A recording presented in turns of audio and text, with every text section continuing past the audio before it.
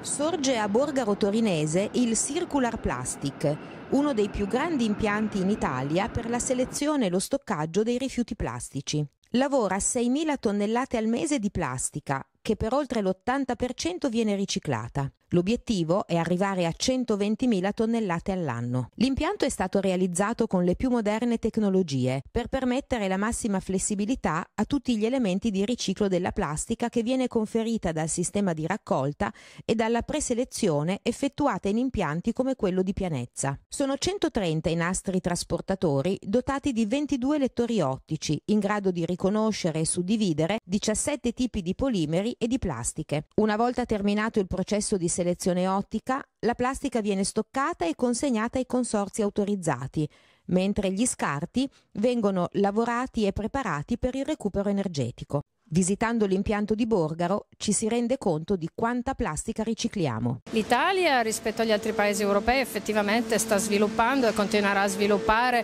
numerosi progetti di valorizzazione dei materiali, del riciclo e del recupero del materiale che ci pone all'avanguardia rispetto all'Europa e la provincia di Torino assolutamente può vantare eh, ricerca, tecnologie e questo impianto è una delle punte di diamante del nostro territorio. Qui la plastica viene suddivisa e può tornare a nuova vita attraverso ovviamente la divisione a seconda del tipo di polimero, a seconda del colore e quindi questo è un polo di riferimento di tutti coloro che lavorano poi la plastica eh, ridandole nuova vita. L'impianto e il lavoro dei dipendenti consente di svolgere una selezione accurata delle plastiche. Il materiale in ingresso viene selezionato per dimensione. I rifiuti più fini subiscono una successiva separazione.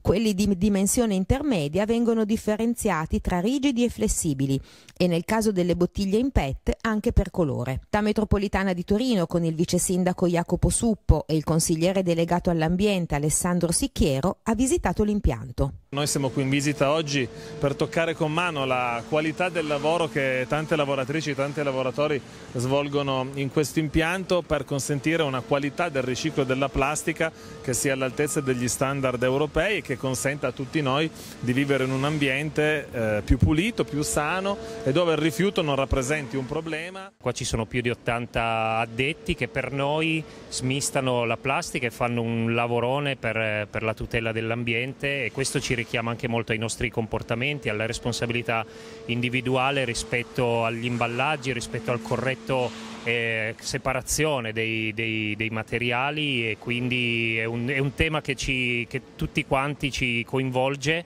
e poi ci sono questi, questi, sistemi virtuosi per cui alla fine il, il rifiuto una, recupera una nuova vita e diventa anche un, una modalità per fare del business ma che aiuta il nostro ambiente.